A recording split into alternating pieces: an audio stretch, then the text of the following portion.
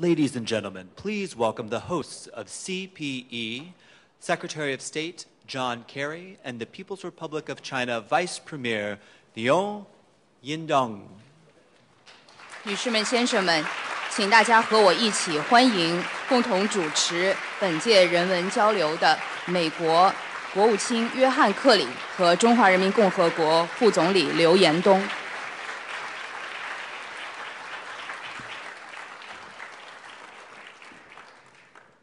Afternoon. I'm Evan Ryan, the Assistant Secretary for the Bureau of Educational and Cultural Affairs. We will begin with the signing of the Memorandum of Understanding for the continuation of the CPE, which demonstrates the commitment of both the U.S. and Chinese governments to continue the CPE in the years to come.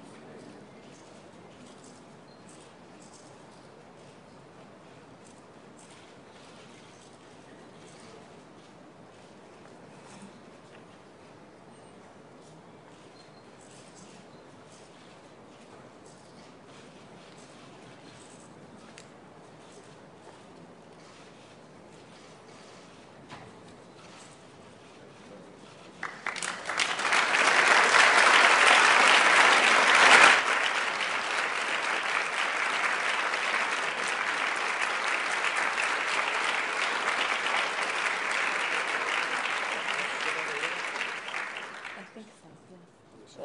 Mark? Yeah, yeah.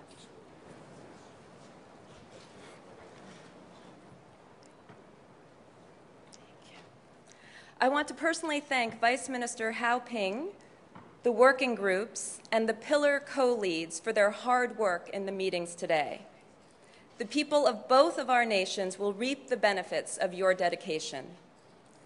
Please let me take this moment to focus on a few of the outcomes of your work in each of the five pillars education, culture, women, science and technology, and sports. First, the education pillar would like to highlight our agreement to expand opportunities for students and scholar exchange under the binational Fulbright program and thank the government of China for its increased contribution. We joined the Peace Corps in celebrating the 20th anniversary of the U.S. China Friendship Volunteers and congratulate our Department of Education and your ministry on extending joint work through the newly signed Memorandum of Cooperation on Education.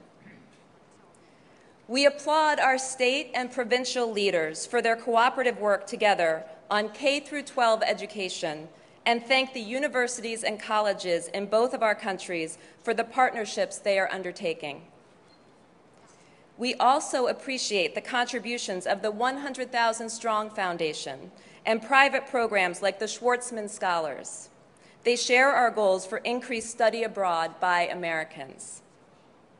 We are pleased that the Confucius Institutes in the United States allow Americans to study Mandarin with native speakers. We hope that more students in China will be afforded the same opportunity to learn about U.S. culture and language through the many cultural and academic programs sponsored by the U.S. government, universities, and private organizations. We would like to see similar American cultural centers on Chinese campuses creating strong symmetry. Second, the culture pillar has decided upon several deliverables in the next year that will broaden understanding of each other's societies. History and culture through the arts and arts based people to people exchanges will be their focus. The State Department is pleased to host programs in China through American Music Abroad, the American Film Showcase, and a youth leadership program for Chinese students, focusing on civic education and leadership, but also exploring a sense of community through the arts and cultural programs. Our government colleagues at the Smithsonian Institution will feature China at the Folklife Festival in 2014. We applaud our American private sector partners that have independently made strides to promote cross cultural understanding, such as New York University Asian Pacific American Institute and the American Alliance of Museums, which are building intercultural professional networks. Other partners who are bringing Chinese culture to the United States include Goldman Sachs, having hosted the China National Orchestra in the U.S., and the Children's Museum of Indianapolis 2014 exhibit that will teach American youth about China's rich cultural heritage and contemporary life.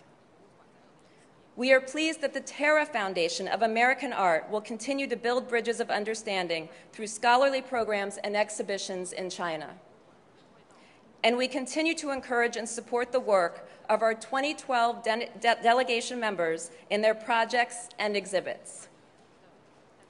Third, the Women's Pillar has decided that the China's Women's University and the Woodrow Wilson Center's Women in Public Service Project in China will work together over the next two years to organize three training workshops for emerging women leaders throughout China.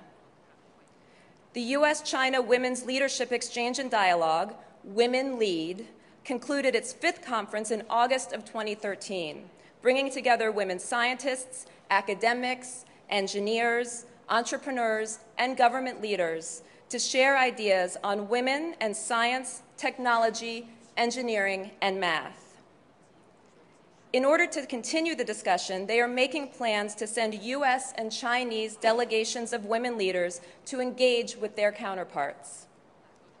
Fourth, the Science and Technology Pillar will continue the Young Scientist Forum with two more meetings in fiscal year 2014 to take place in Beijing and Washington, D.C. Nearly 200 young scientists from the U.S. and China have already participated in the forum, embracing and enhancing mutual understanding through discussions not only about scientific research, but also professional development. This next year, the Young Scientist Forum will work to include more women in science. Finally, it gives me great pleasure to highlight the sports pillar outcomes.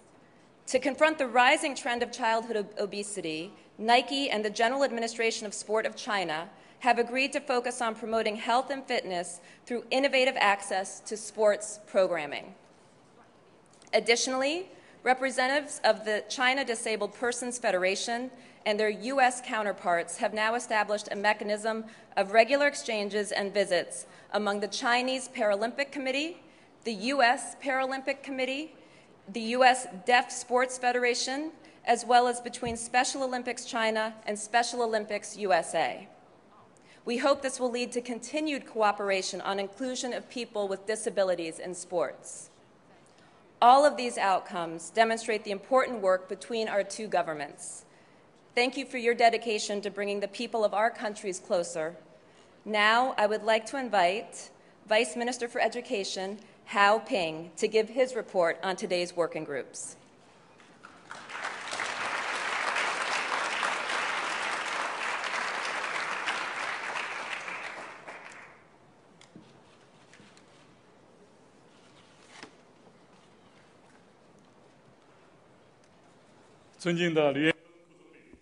Your Excellency Vice Premier Liu Yandong, Honorable Secretary Kerry, ladies and gentlemen, good afternoon. I fully agree with what Assistant Secretary Ryan has reported.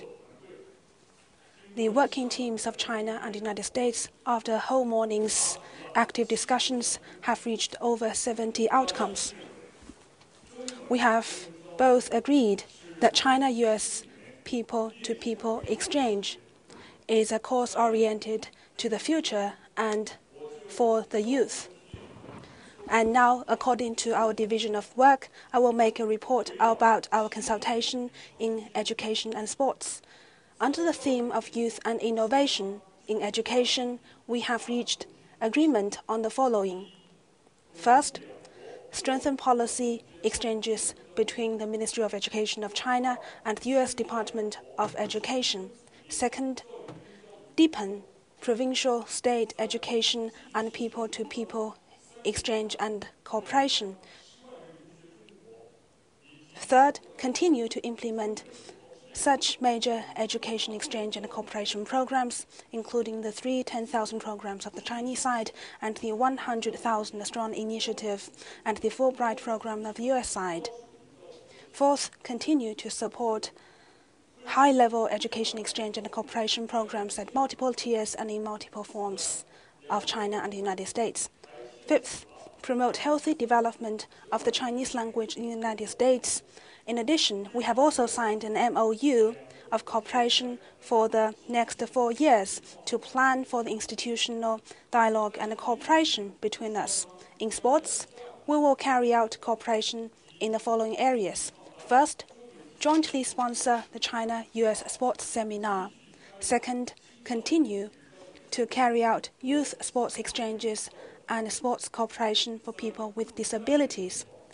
Third, promote wushu, and health qigong in the United States. Fourth, continue our cooperation in such sports as basketball, baseball, and volleyball. Fifth, engage in cooperation in innovative sports marketing. We believe that with the great importance attached by our leaders and outstanding leadership of the co-chairs, this meeting will be a full success making fresh contribution to the vibrant development of China-US people-to-people exchange. At last, I wish to take this opportunity to extend on behalf of the Chinese team sincere appreciation and thanks to my colleague Assistant Secretary Ryan and the US team for the great deal of effective work they have done. Such is my briefing. Thank you.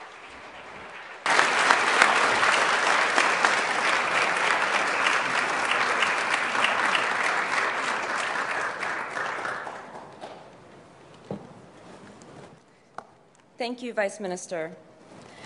We are very grateful for your collaboration. Now, please join me in welcoming Ma Jing, Director of CCTV America. She will address how CCTV sees itself as a bridge between the U.S. and China to promote knowledge and understanding.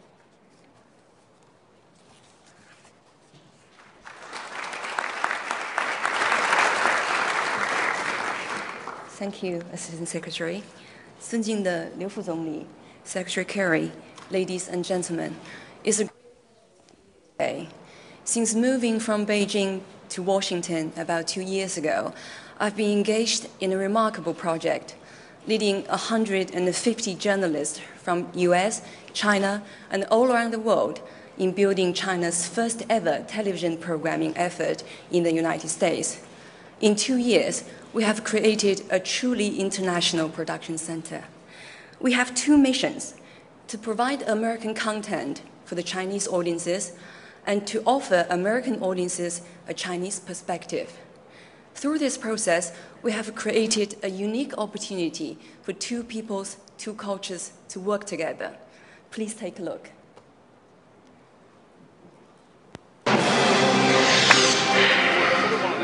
Hold on there for me, three. CCTV America launched in February of 2011 from a state-of-the-art broadcast center in Washington, D.C. Let's uh, roll with this. All right, three, two, one. The network brought together an international team of veteran journalists and technicians to report on the biggest headlines from around the world. Intense clashes are now underway. And go beyond the sound bites to tell compelling human stories. CCTV America is a bridge, a bridge between people and cultures. By showing each side of an issue, by offering fresh, unique perspectives, we increase understanding and knowledge. I think the best way people can work together from around the world, and I think we're doing that, is to share our ideas and be willing to admit that we might not have the total picture. I think in the past two years, by learning from each other, we have achieved together what we could not have accomplished if we were all on our own. We're like the United Nations. You know, it's when you have a divergence of views and different perspectives, then we're that much richer from it. Aside from the language, aside from the way you express yourself, but we share the same concerns. We have the same worries and happiness in life. I love working here. Every day is every day is a challenge, but every day I think is a new opportunity to learn more. I can't believe how much I've learned here. Like Lindsay, I too cannot believe how much I've learned in such a short time. I remember the first thing I learned about my American colleagues was how impatient they could be. and I guess the first thing they learned about me was how slow I could be to respond. Uh, I remember in the beginning, some of my uh, American senior producers would come to me with problems and concerns. I would usually just listen and respond with, okay. They walked out of my office feeling more frustrated. What on earth is she really thinking? As Americans, they naturally wanted action and expected instant solutions. As Chinese, uh, I thought that we should think three times before we speak or act. So over time, we learned how different our two cultures' strength can be. The famous uh, American openness, innovation, and energy. The Chinese, great patience, hard work, and resilience. Still, we came to realize how much we could learn from each other and complement each other in achieving common goals. Actually, it is in those differences that lies a common strength. So this is how important people-to-people exchange, exchanges are. Uh, for people from CCTV, we're experiencing it every day. And for beyond governments, we believe for beyond governments, people, Chinese, American, and others can work together, no matter how different we are. At CCTV America, we prove it every day. Ladies and gentlemen, congratulations on your marvelous achievement of the CPE. Thank you very much.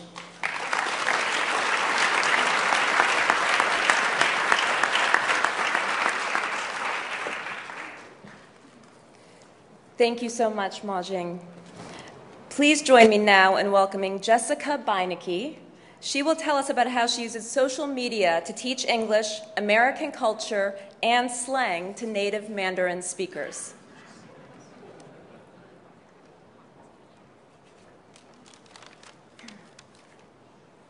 Hello everyone, I'm Jessica Beinecke. 大家好，我的中文名字叫 Hello everybody, my name is Jessica Beinecke, 白洁。 今天很荣幸能在这里发言。I am the creator, host, writer, and producer of OMG 美语, Voice of America's viral web series that uses Mandarin to teach American slang and culture to our young Chinese audience online. 我是 OMG 美语的创造人、主持人和编辑。OMG 美语是美国之音的一个很流行的网络呃呃 节目。啊，我们在网上叫中国网友们最新的。We teach uh, Mandarin speakers the most authentic and most uh, the most up to date uh, American culture and slang on the website of whom live in mainland China. And in two years, OMG has generated more than 40 million video views. Uh, OMG 美语有四十万网上粉丝，百分之九十五住在中国大陆。两年来，视频浏览量超过四千万。So let's take a look at a mashup of OMG 美语 highlights in the U.S. and China。我们一起来看看这个 OMG 美语在美国和中国的视频。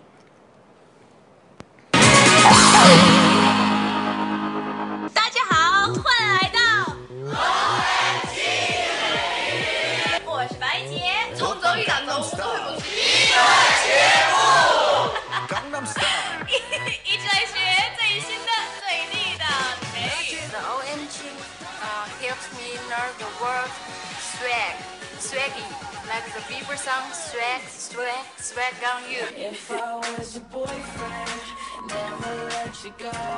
如果我是你的男友，永远不会让你走。Hi everybody, I'm holding a panda. 他叫什么名？君君。君君。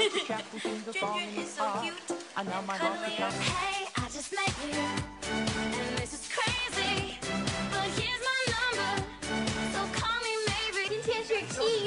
十八号，OMG 美语开国一周年，Happy birthday OMG！Happy birthday OMG 美语！We are never ever getting back together.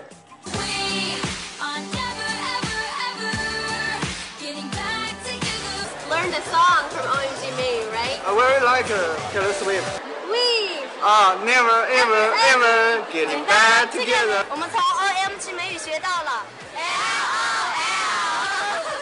sauteed green beans. Yes. Mashed potatoes. Cranberry sauce. 怎么准备感恩节的 turkey? Gobble, gobble, gobble, gobble, gobble. Turkey is the staple of Thanksgiving dinner. Look at this turkey!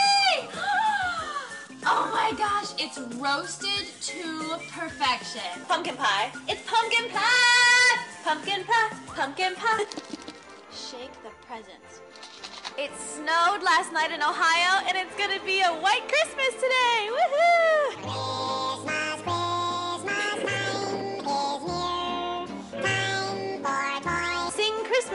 bells.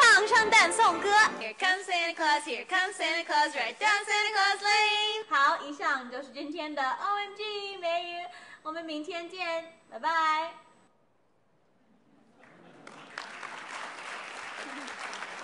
Thank you so much. That last part was my mom. She says hi. uh, thank you all so much. Check us out on Twitter, Facebook, YouTube, and Sina Weibo. Congratulations on your accomplishments with the CPE. Thank you very much.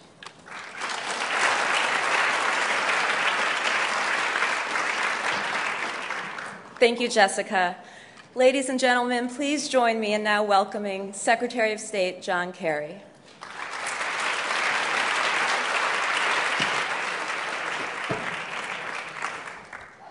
Wow.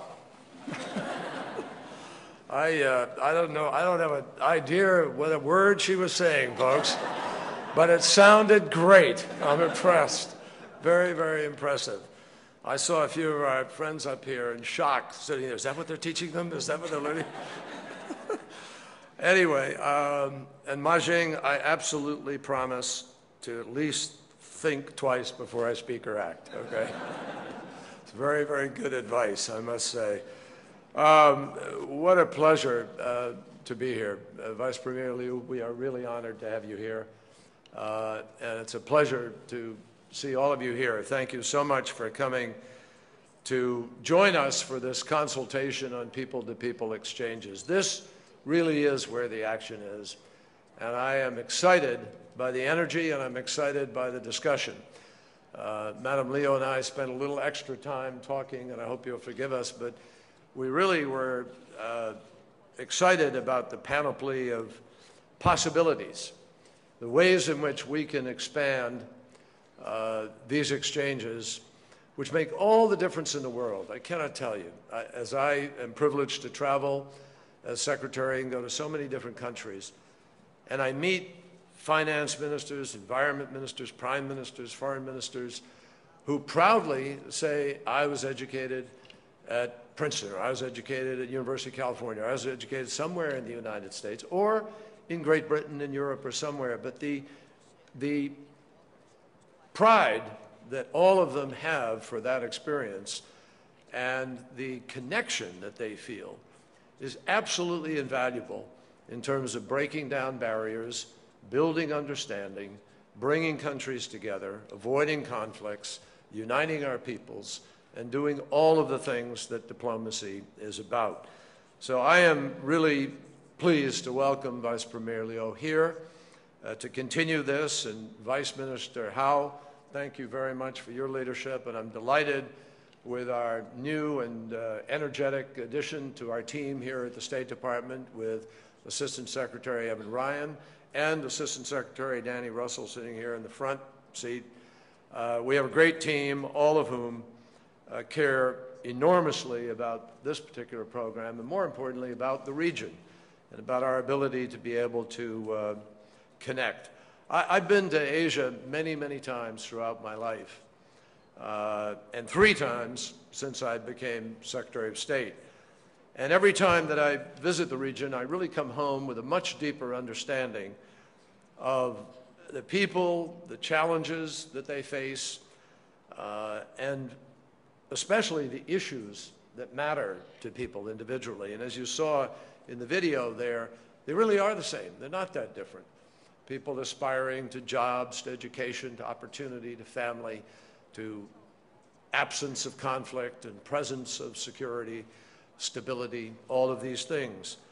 Since Vice Premier Liu and Secretary Clinton launched this initiative in 2010, we have really worked hard, and we're going to continue to work hard in order to give more people the opportunity to be able to build their own understanding through people to people exchanges. There just isn't anything more valuable. And we got excited over lunch talking about, you know, the possibilities of kids from high schools in the middle part of America and farm country going and meeting farm folks in China, the middle part of the western part of China, and so forth, and building these linkages. That's how we're going to solve problems, I guarantee you, uh, in the short run and the long run. And this annual forum has served as a powerful way to address challenges and to identify new ways for us to be able to enhance our engagement. For example, thanks to the Fulbright Foreign Language Teaching Assistant Program, which came out of last year's uh, CPE, students in the United States have been able to benefit from the skilled Chinese instructors like uh, uh, Cheng Chenggu, uh, or, uh, well, Chen really normally teaches at Hainan University, uh, the normal university in China, but he's currently serving as FLTA in my hometown of Boston, teaching Mandarin to students of Boston University. And Chen's here today, and if you ask him, he'll tell you how gratifying it is to teach American students not only his language, but just about life in China and about what they're thinking, and he and his contemporaries, and what they want out of life. He'll also tell you how much he is learning himself by being there. Uh, they say it takes an outsider to fully understand and comprehend the culture of a nation. Well, Chen has a master's degree now, I want you to know, in American Studies. But if, as a result of being in Boston over this last period of time, he can now provide an explanation for the mania that is part of Red Sox Nation, then someone should give him a PhD immediately, folks, which uh, he will have earned.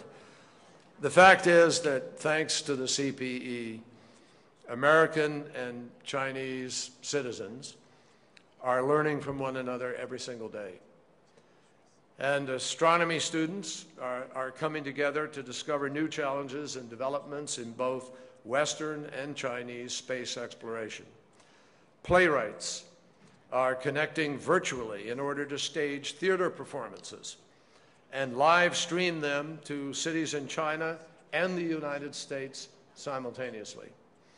American organizations like the Thomas Jefferson Foundation are planning exhibits in China, and world class athletes are acting as sports envoys to promote athletic inclusion and adaptation for young people with disabilities. Just this morning, I was on uh, the Hill testifying before the uh, Senate Foreign Relations Committee on the Disabilities Treaty, which can help raise global standards of dealing with disabilities to the ADA standards that we have here in America. And it's a wonderful way to include people who might otherwise be uh, discriminated against or left on the sidelines of life. Our educational exchanges are truly more widespread than ever before. And if I'm able to encourage that, as I hope to, they will be even more widespread over the course of these next years. Thousands, hundreds of thousands of Chinese students and teachers like Chen are coming to American colleges and universities. And later today, Vice Premier Liu and I will speak about President Obama's 100,000 strong initiative and the foundation uh, of the same name, which is aimed at uh, sending 100,000 American students to study in China by the end of next year. President Obama uh, sent over a letter to express his support for the CPE, and in that letter he wrote, the Chinese and American peoples want a strong cooperative relationship, and it is in our interest to work together to meet the global challenges that we face. Both President Obama, and President Xi, share a deep commitment to expanding the people to people exchanges between our countries. And that is because these exchanges give folks a chance to be able to have a deeper understanding of each other's way of life, and eventually that understanding can grow into trust. And trust, as we all know, grows into partnership and into a whole lot of benefits in the long run. 42 years ago, nine ping pong players, four officials, and two family members became the first Americans to set foot in China since the Cultural Revolution of 1949. Time magazine called the visit the ping heard around the world. But the truth is that Americans did a lot more than play ping pong when they were there. They spent time with Chinese students, with factory workers. They visited uh, treasured Chinese sites like the Great Wall and the Summer Palace, and they went to see the Canton Ballet their visit literally opened a new chapter in the history of United States and China relations. And it wasn't only because they played ping pong, it was through their visit to China that it became clear that despite the many differences between our peoples, differences that often politics and, and ideologues and sometimes even demagogues get in the way of, that, that there are also always a huge number of similarities and ways that we can bind people together. Ultimately, these exchanges can do a lot more than just bridge gaps between two different people. They can bring together the two largest polluters on Earth to help combat the serious challenge of climate change. They can bring together the two largest economies on Earth to help drive the shared prosperity that we want for all people. They can bring together two of the most powerful nations on earth to promote peace, security, and stability in every corner of the globe. As President Obama put it in his letter, the world is looking to the United States and China to work together to solve pressing challenges. And there is great potential for athlete, cultural, and scientific exchanges to help solve problems for the benefit of all. By improving and expanding the ties between the people of our two countries, the CPE is providing critical gateways to important solutions. Well, the President and I and our counterparts in China know that enabling people and countries to come together in pursuit of those goals will lead not only to greater understanding, but eventually to an even stronger partnership between our two countries. The many collaborative people-to-people initiatives that come out of the CPE are a critical part of that process. They're as good as anything else that we do in form of diplomacy. And I look forward to building on that progress, on all of the progress that we've made, on using your ideas, your energy, your enthusiasm, your creativity, and together, if we continue to do this, this relationship will become one of the great relationships of all time and a game changer for the planet. That's our hope. Now it's my pleasure to introduce a woman who, as I learned at lunch, probably holds more portfolios in China than any other single person, in charge of health, education, media, uh, what did I, uh, sports. I mean, you run the list, culture. Uh, it's quite extraordinary, I'm really delighted to introduce her to you, the Vice Premier of China, Madame Liu.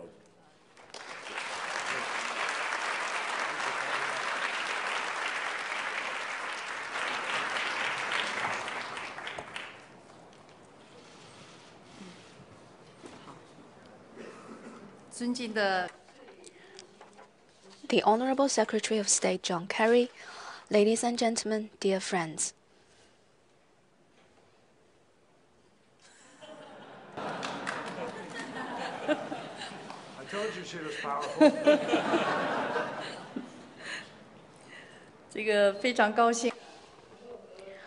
It has been a great pleasure for me to co-chair the fourth round of China-US high-level consultation on people-to-people exchange (CPE) with Secretary Kerry. Right now, the coordinators of both sides, Under Secretary Ryan and uh, Vice Education Minister Hao Ping, have made wonderful remarks.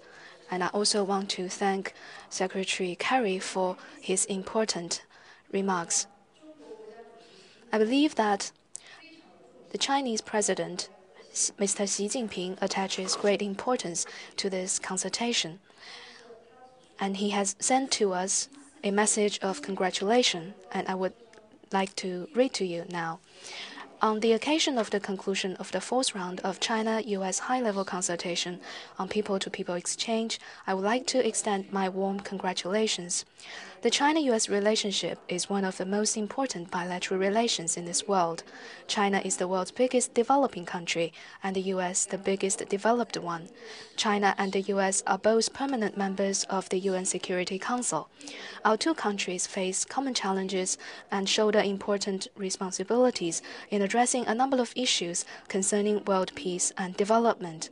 To build between China and the United States a new model of major country relationship that features no conflict or confrontation, mutual respect and win-win cooperation, calls for active support and broad participation by the public and various social sectors in both countries. Over the years, the people-to-people exchange has played a positive role in enhancing China-US relations and become an important pillar for the growth of the relations between our two countries. During the past three years in particular, Nearly 100 outcomes under the CPE framework have been implemented, and this has enhanced the level of people to people exchange between our two countries and provided new impetus to the growth of China US relations. I hope the CPE mechanism will build on the past achievements and open up new prospects, expand areas of communication, deepen cooperation, and make new contribution to building the bridge of heart-to-heart communication between the Chinese and American peoples and the development of the new model of major country relationship between China and the United States. Ladies and gentlemen, dear friends, the messages of congratulations from President Xi Jinping and President Obama reflect the important agreement between our two presidents on deepening people to people exchange between our two countries. This will surely lend an important impetus to the building of the new model of major country relationship between China and the United States.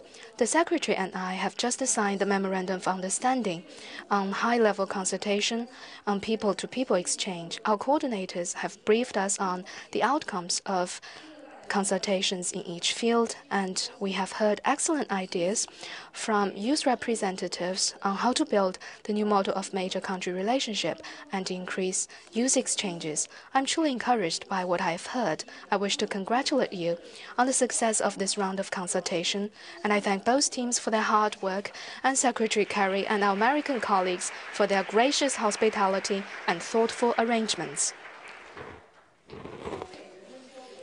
People to people exchange between China and America has a time honored history.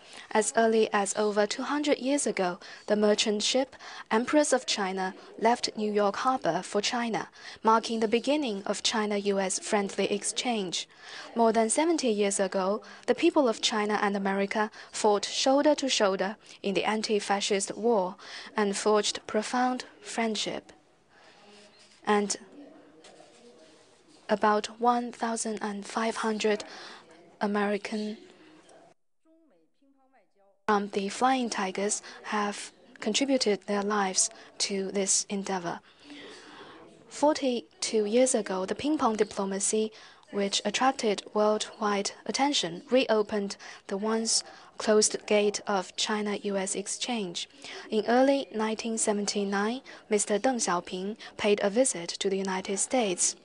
The moment when Deng tried on the cowboy hat at a rodeo in Simonton became a classic snapshot in the history of China US exchange. And 28 years ago, a party secretary from a Chinese county, who is now the president of China, Mr. Xi Jinping, visited the United States, and during his visit, he stayed with a local family for two nights in a small town in Iowa, where he developed friendship with local residents. During his visit to the United States last February, President Xi revisited the small town and had a get together with his old friends by the fireplace, which is yet another wonderful story of the friendship between the Chinese leader and ordinary Americans. Just as small streams were joined together to become a large river, the heartfelt mutual affection and growing friendly exchange between the Chinese and American peoples will push China US relations to break waves and surge ahead. Ladies and gentlemen, dear friends, the establishment and development of the CPE is a major event in our people to people exchange and the history of our bilateral relations. Over the past three years and more, the CPE has made continued progress and implemented over 100 important outcomes in the six areas of education, science and technology, culture, sports, women and youth. The 100,000 strong initiative of the US side has enabled 68,000 American students to study in China, and the three 10,000 projects of the Chinese side has in total sent nearly 10,000 people to the United States for PhD studies or joint PhD programs, and invited over 10,000 Americans to China for visits or studies the China US Cultural Forum and the China US High Level Women Leaders Dialogue have all become famous events. The Chinese cultural series were very rece well received in the United States.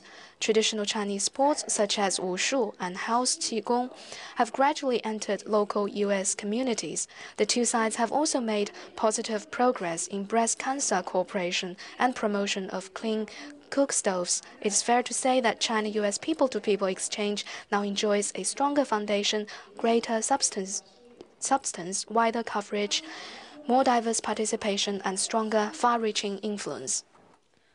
China US relations now stand at a new historic starting point and face new opportunities of growth.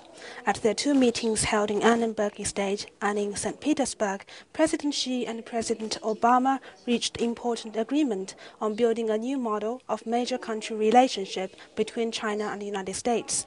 People to people exchange, as one of the three pillars supporting the growth of China US relations, plays an indispensable role and strategic role in the building of this new model of major country relationship.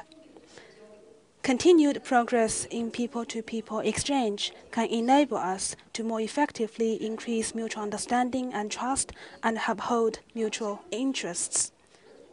In so doing, we will enable our public to better appreciate the spirit of mutual respect and win win cooperation, thus laying a solid popular basis for the new model of major country relations between our two countries. We hope to work with the US side to make the best use of this pioneering role of people to people exchange mechanism and comprehensively deepen and broaden such exchange. With this in mind, I wish to make three proposals. First, we need to seek common ground while resolving differences and further capitalize the bridge building role of mutual learning among various civilizations. Our world, rich and colorful as it is, has different civilizations. It is the beautiful leaves of different colors that make Washington, D.C. in autumn so beautiful. There are no two identical leaves in the world. It's only natural that China and the United States, two major countries with different national conditions, histories, cultures, and systems, have differences with each other. The American people have the American dream, while the Chinese people have the Chinese dream. Despite our different choice of development paths, we have a lot in common as we all endeavor to pursue people's happiness, social harmony, economic prosperity, and world peace. People to people exchange is a solid bridge connecting China and the United States, and they will lead us to our common bright future. We need to further increase interactions between cultural institutions, organizations, and industries, learn from each other, and draw upon each other's strength to seek commonality and harmony from diversity and difference and pursue development through interactions in a joint effort to promote progress of human civilizations. Second, we need to build trust dispel misgivings, and further strengthen the catalytic effect of mutual trust between us. Former US President Franklin Roosevelt has a famous saying that the only limit to our realization of tomorrow will be our doubts of today. Some of the differences and problems between China and the United States are, to a large extent, the result of lack of mutual understanding and trust. People to people exchange could gradually yet steadily bring the two peoples closer, increase their mutual trust, and remove prejudices and differences between them so that bilateral relations between us will become more resilient and dynamic. To this end, we need to further encourage all forms of exchanges between people from all sectors and at all ages and ensure the success of the exchange between young political leaders, scientists, engineers, and artists and the Youth RME Partnership Program with a view to improving understanding of each other's national and social conditions. Third, we need to keep abreast of the times and open up new prospects of China US people to people exchange. I am delighted to see that this meeting of the CPE is marked by three highlights. First, the theme activities of youth and innovation have been launched. The hope of sustainable development of China US relations lies in the youth. Youth is the fresh force of the two countries and represent the bright future. I hope they will work together and enhance cooperation to co cope with the common challenges facing us and make fresh contribution to world peace and progress. Second, think tank exchanges have been introduced. This afternoon, I will engage in interactions with American scholars from think tanks at the United States Institute of Peace. I hope Chinese and American scholars will carry out more joint research programs on such topics as how to build the new model of major country relationship and strengthen people to people exchange, providing intellectual support, policy recommendations, and theoretical basis for China US people to people exchange. Third, provincial state people to people exchange under the framework of the CPE have expanded in depth and breadth we need to bring the priority of our work down to lower levels and fully leverage the role of the mechanism of sister provinces, states, and cities so as to make people to people exchange closer to the society and people and ensure that people are truly involved and benefit from it. In this way, more and more people of our two countries will participate in and contribute to the exchange and share in its fruits.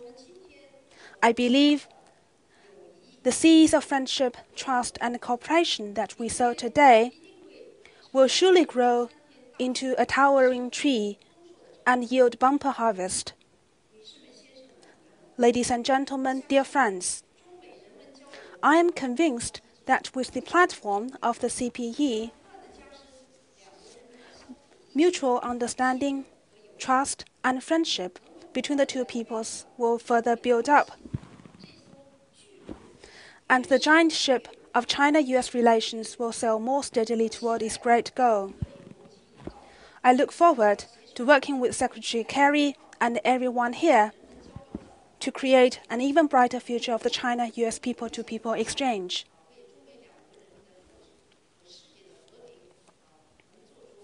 And make our due contribution to the growth of China US relations, to the well being of the two peoples, and world peace. Thank you. Thank you,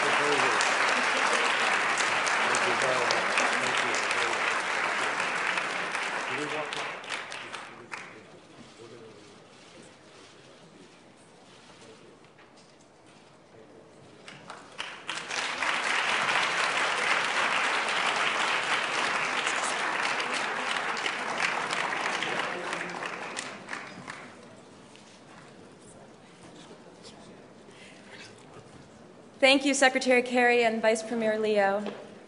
And thank you all for being here with us today.